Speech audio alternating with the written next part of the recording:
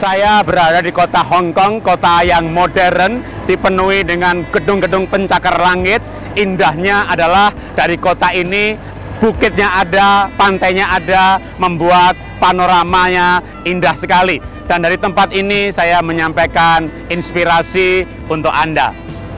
Zaman ini berubah luar biasa, semuanya menjadi mudah ya, mudah berkomunikasi, mudah punya teman, tapi ternyata ada dampak negatifnya juga karena mudah mengakses pornografi, mudah cari teman selingkuh. Kalau yang muda-muda ya mudah cari pasangan bukan selingkuh ya nikah aja belum gitu ya untuk untuk free sex, maka ini zaman di mana memang menyenangkan luar biasa, tapi juga berbahaya luar biasa, merusak sendi-sendi keluarga. Nah, gimana dalam zaman seperti ini kita masih bisa memiliki keluarga yang bahagia dan mendidik anak-anak takut akan Tuhan.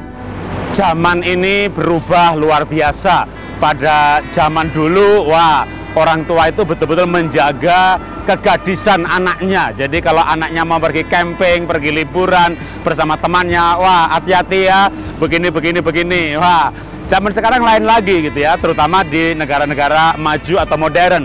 Ketika anak gadisnya mau pergi camping, mau pergi liburan, jangan lupa ya bawa kondom gitu ya.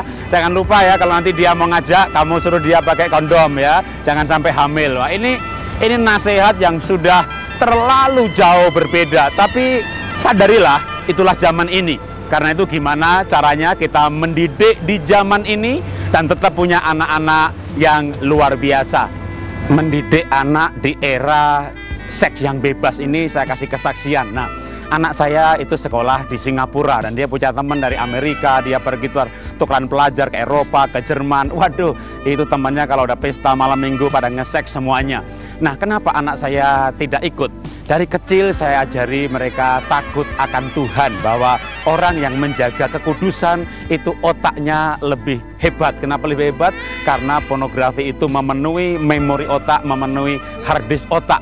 Ketika anak saya pun punya teman-teman seperti itu, dia tidak ikut seperti itu.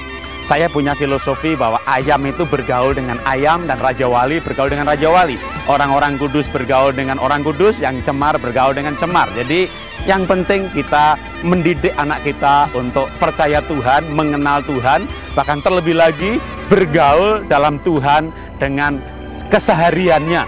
Dia bangun tidur, dia saat teduh, dia berbuat baik, dia punya teman seperti itu dia punya teman juga yang tidak seperti itu gitu yang yang yang yang free sex begitu tapi dia tahu bahwa itu tidak benar. Nah, kalau anak punya prinsip seperti ini, maka kami merasa nyaman, merasa aman. Wah, keluar negeri nggak apa-apa. Dia tidak akan terpengaruh. Kenapa? Karena dia takut akan Tuhan. Di zaman di mana orang seks bebas itu biasa, kami ajari anak-anak kami. Saya kasih juga logika dan kesaksian dari hidup kami.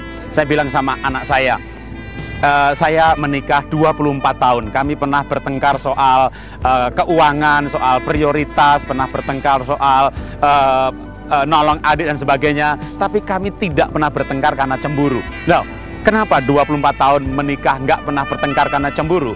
Karena kami percaya. Kenapa percaya? Karena selama pacaran enam tahun kami menjaga kekudusan, istri saya menjaga kegadisan, kami tidak masuk area-area yang terlarang. Ini membuat kami percaya luar biasa dan membuat pernikahan 24 tahun tidak bertengkar karena uh, cemburu. Nah, itu menginspirasi anak saya bahwa wah kalau begitu saya mau juga nanti suatu saat punya pernikahan yang bahagia. Saya bernasar kata anak saya untuk menjaga kegadisan saya. Nah, karena itu didik anak Anda dengan bijak, didik anak Anda dengan logika, dengan pola pikir, dan terlebih lagi dengan keteladanan.